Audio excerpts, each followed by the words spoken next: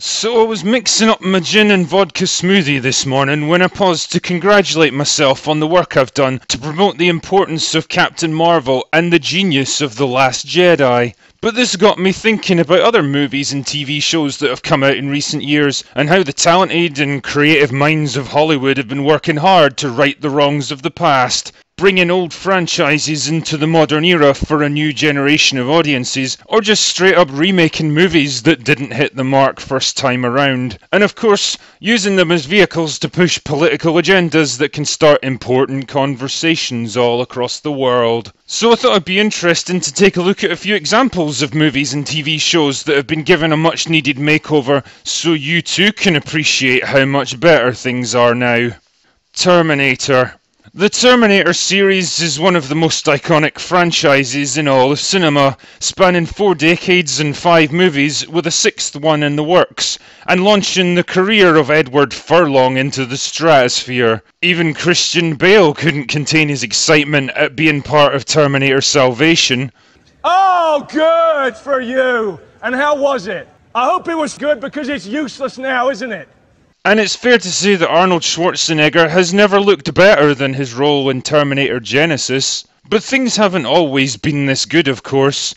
Terminator 2 was an okay movie, I guess, but one of the things that really let it down was Linda Hamilton's portrayal of Sarah Connor. The problem is that she just doesn't have the edge needed to play such a strong character, and it's clear from the way she handles weapons and her overall physical condition that she wasn't really taking the role seriously. But fortunately, Terminator Genisys provided a solution in the form of this small child, proving that even little girls are perfectly capable of kicking ass and fighting shape shifting robots from the future. I mean, look how confident she is firing this gun. It's like there's no longer a boundary between the weapon and the actor using it. And also take note of the sheer physical presence she brings to the role. It's clear she really put in the gym time to prepare for this movie, proving that she was a far superior choice to play this iconic character. Her enthusiasm and dedication to her craft is rivaled only by that of her co-stars, like the always charismatic Jai Courtney as Kyle Reese, who bears such an uncanny resemblance to the original actor that it's like we've stepped back in time by 30 years. Not to mention the strikingly compelling and original plot, which is both intensely personal yet deceptively complex, easily making sense of the complex business of time travel without relying on technobabble or contrived writing. But there's something I need you to remember. A message. Who do I tell? Yourself. So I firmly believe that with movies like Genisys under its belt, the Terminator franchise is sure to go from strength to strength, as we can see from the upcoming Terminator 6. Doctor Who. Now, if there's one thing that sci fi TV shows have historically been bad at, it's exploring present day social issues through a science fiction lens that makes us think about them in a whole new light. Another thing that's been chronically lacking is strong and interesting female characters, and no show has suffered more from this than Doctor Who. So it was with great excitement that we learned the 13th Doctor would be played by a female actor this time, finally allowing women to set foot in the TARDIS.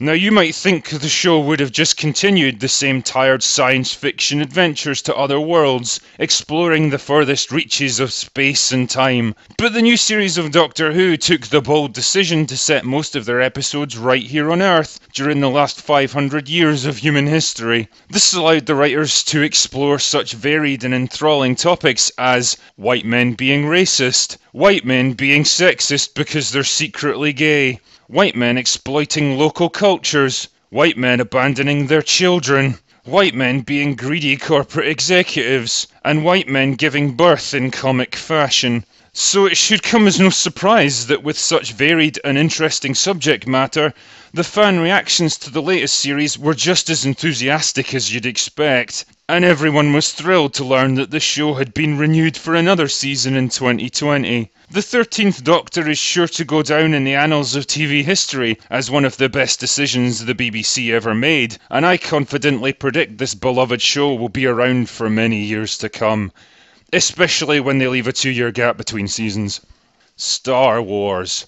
Now, it's no secret that The Last Jedi cleverly subverted all of our expectations when it hit theatres a year ago, but when you really think about it, the entire Disney Star Wars era has been one big exercise in subversion. Now, I could talk at length about how The Force Awakens told a story that was truly fresh and different, how Solo felt so meaningful and impactful, or how The Last Jedi was so respectful to the world created by George Lucas, but for me, the thing that truly makes the Disney era of Star Wars so special are the characters. See, the original trilogy gave its characters genuine struggles and failures to overcome, dangerous enemies who dealt them crushing defeats that forced them to grow and learn from their failures, and taught them important lessons that helped them become wiser and better people. But the new movies have found a far more efficient way of doing things, because why waste time showing how your main character becomes a hero when they can just be a hero right away? It's genius, really. Everyone loves a winner, so if your main character easily wins and succeeds at everything they do,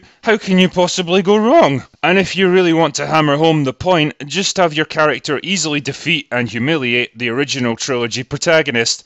That'll be sure to endear her to fans.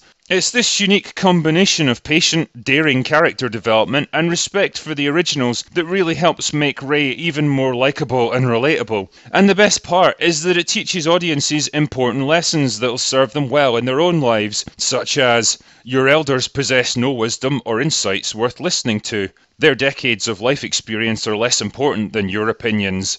Everyone that matters will automatically like, respect, and trust you. You don't need to work or struggle for anything, you're already good enough to succeed. Failure isn't an option because it's impossible to fail at anything anyway. Learning new skills is easy, it just kind of happens. Everyone else in the world is less intelligent and determined than you. So you see, with this kind of winning formula, it's easy to see why fans of the original Star Wars trilogy have warmly embraced not only Rey, but the entire Disney Star Wars series, and I confidently predict that Episode 9 will be even more successful because of it. Ghostbusters.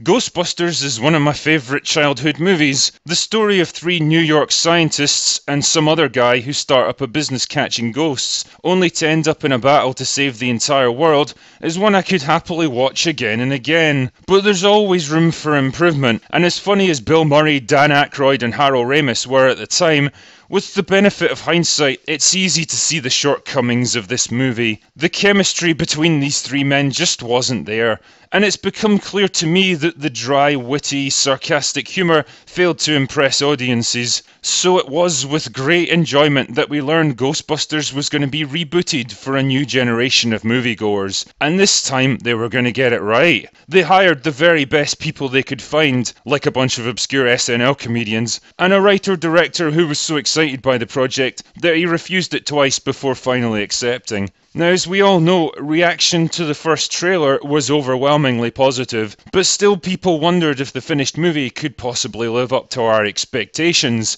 Well, we found out. How could Ghostbusters 2016 not be a success, with hugely successful comedians like Leslie Jones, Kate McKinnon, and Melissa McCarthy behind it? Not to mention the creative powerhouse that is Paul Feig pulling directing duties.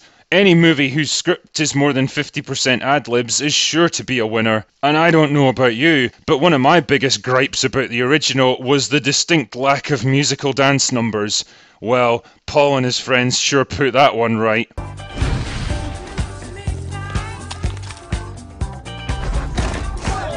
I also have to give props to the way the cast and crew dealt with negative fan reactions and criticism. Their conduct was both highly professional and displayed great strength of character, particularly Paul Feig. I mean, really, with such a humble personality and down to earth appearance, it's impossible not to warm to this guy. The box office returns spoke for themselves.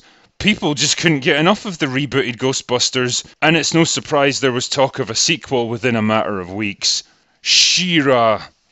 Now, living in Scotland, I can tell you that we're all about breaking down gender stereotypes over here. Take our First Minister, for example, who's both a highly successful politician and a woman, and yet effortlessly manages to look like neither. So it was with great excitement that I learned that She-Ra, another TV show from my childhood, was being brought back to entertain today's generation of children, only this time she wasn't going to be constrained by such outdated concepts as gender. And I don't know about you, but I was blown away by the character artwork when it was revealed. Definitely a big improvement over the original. It's both empowering and inspiring to know that 12 year old boys can now be princesses of power as well and I'm sure this new incarnation of the character will be just as iconic and popular as his female predecessor. So, as you can see, our entertainment industry really is much better now than it used to be. And that's all I have for today.